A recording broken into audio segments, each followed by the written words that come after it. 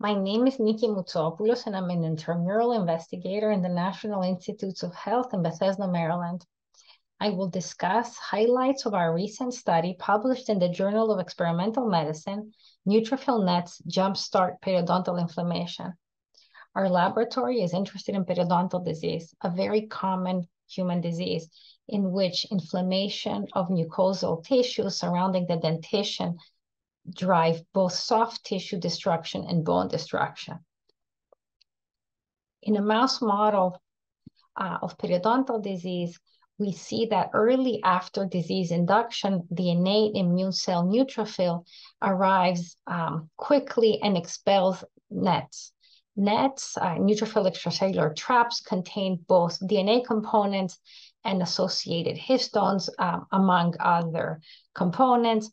And not only do we document nets and extracellular histones in the lesions of disease, but in the mouse model, when we inhibit either netosis or specifically extracellular histones, we can reduce inflammation as well as bone loss associated with the model.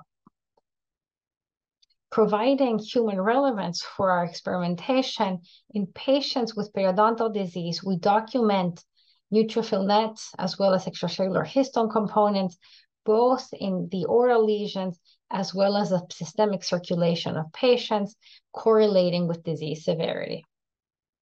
Our lab is excited to further uh, dissect the role of uh, nets and their components in the uh, initiation and progression of disease, as well as their potential utility as disease biomarkers.